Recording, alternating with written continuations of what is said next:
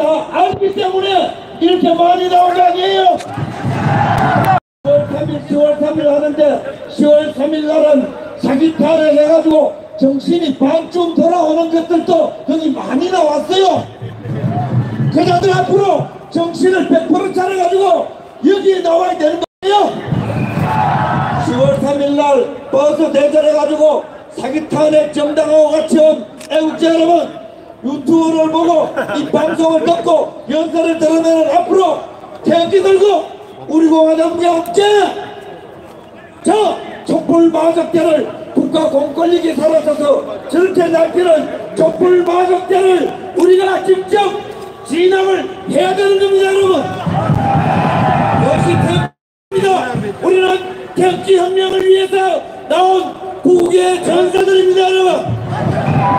지금 우리의 대적부터 자욱심 장롱을 도로로 잡혀있지만 여러분 이 또한 반전의 드라마를 위해서 이렇게 했는 게 아니에요.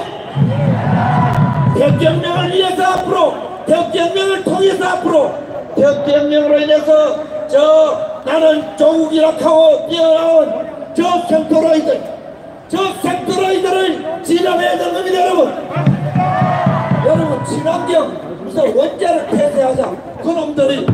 명이 여러분 태양열 회사 50개 거느리면서 무슨 협동조합이니 무슨 마음카페니 뭐니 하면서 세금 빨아먹는 거 여러분 알죠? 이 촛불 마적대는 여러분 사기꾼일 뿐만 아니라 반란자일 뿐만 아니라 반역자일 뿐만 아니라 여러분 도둑대입니다 도둑대!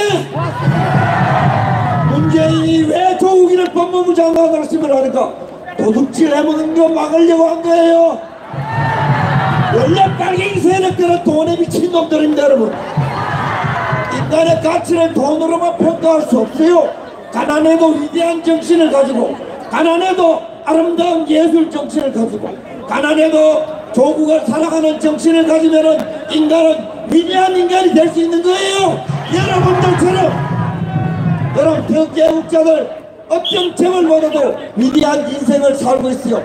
여러분 앞으로 우리 중심으로 태극기 애국자들의 정신을 차려서 공권력도 사라진 이 나라에서 여러분 촛불 마적기들을 우리 태극기 기빵으로 조국이가 살아나는 축창으로 여러분 우리가 진압합시다 여러분! 여러분 혁명을 위해서 구호 외치고 저도 연습을 박근혜를 청와대로 문재인을 단두대로. 박근혜를 청와대로. 문재인을 단두대로.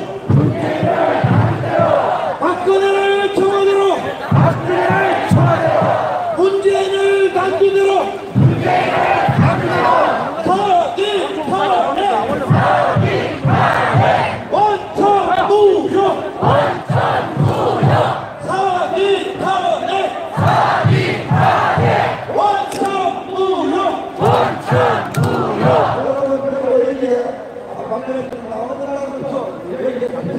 Thank